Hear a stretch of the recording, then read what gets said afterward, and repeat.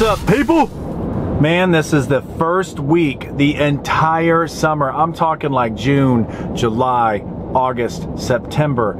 It is now October 12th. This is the first time all summer long that we're going to have a week with no rain. The first time. So this property out here that we do, one of our properties, our Monday property out here, is all clay and it's elevated.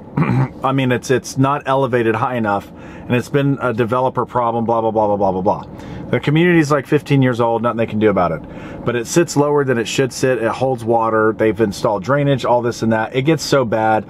Torpedo grass takes over everything.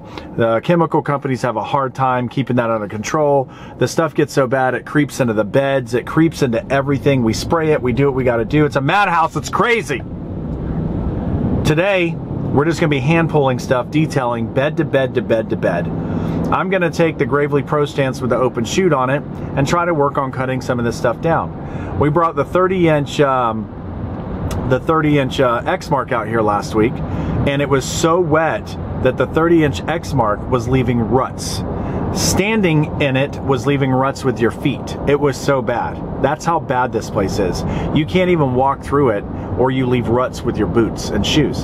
So we are going to hopefully see if I can at least get some of this place mowed. We've mowed some spots here and there, but there are places between the buildings that that are just very thick, very tall, we can't get to. And we can't walk through it and weed eat it. It'll look like a whole bunch of deer or freaking boar just ran through the entire property. So we can't do that either. It's been a thing to where the board and the people understand, but they're pissed and they want things done and they want it handled. We are the professionals, we're the landscapers, we're trying to figure it out. So today, we have a plan to just um, go building to building to building, hand detailing everything, um, and doing what we can do, and then spraying, finally, spraying since it is going to be, um, since it's not going to be raining. So actually, I see the guys out here right now. Let's see. Whoa, it's so bright. The guys, hold on a second. Hold on.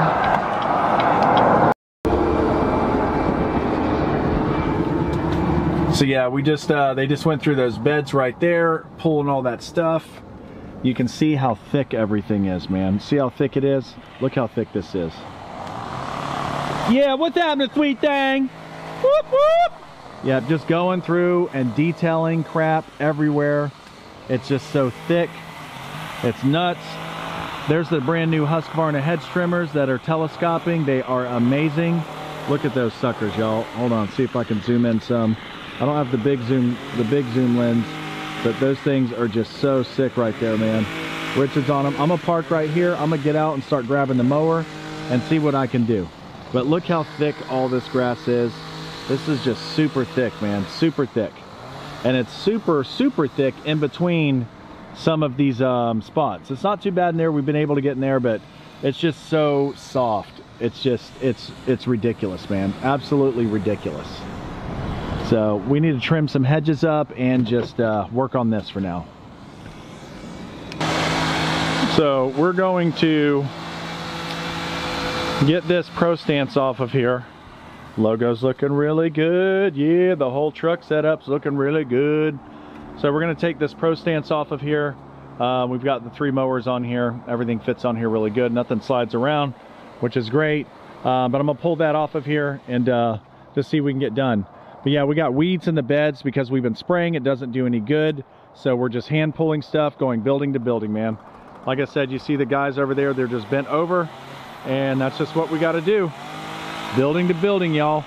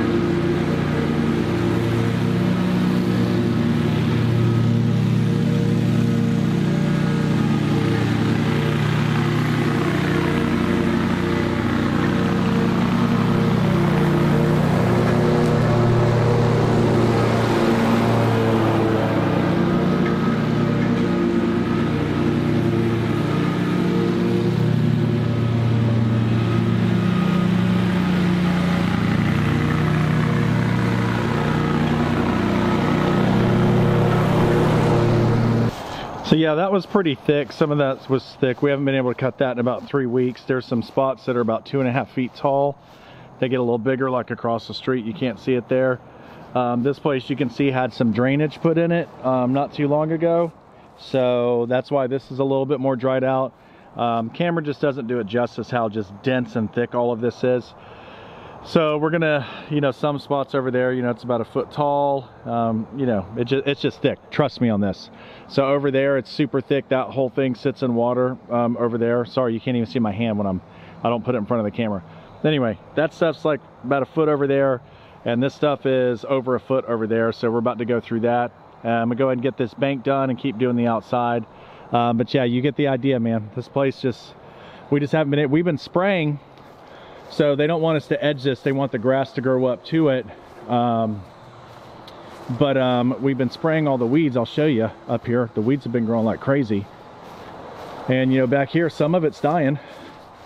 You know, like some of it's all dying back here where we've been spraying. Um, and then it's so wet that some of it just does not. You know, some of it doesn't die and some of it does. So, you know, Today we're going to be hand pulling anything big and spraying everything. So here's where all the torpedo grass will just pop up randomly through stuff. It'll just come through the grass and just pop up and get in the hedges. See this stuff, man? It's like, it's just crazy. It's ridiculous. So we're going to hand pull the big stuff today. Um, we've just been getting rained out here the last summer. It's just been crazy. So yeah, we've just been getting rained out in this place non-stop, man, non-stop. This is the, this will be the first complete dry day since June that we will have been out here. And I mean, the place could look worse for sure, but it's the torpedo grass is a, is a nightmare out here. It's just, it's coming through because there's so much rain. It grows up through the grass, goes into the beds, and it's just, it's a nightmare. But that's what they pay us for to figure it out.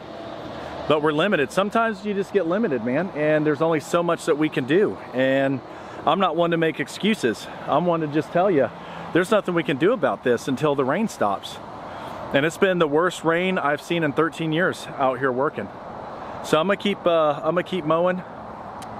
And uh, yeah, I'm gonna keep mowing and I'll, I'll be back on here a little bit on the drive home. Just wanna show you guys what we're dealing with today.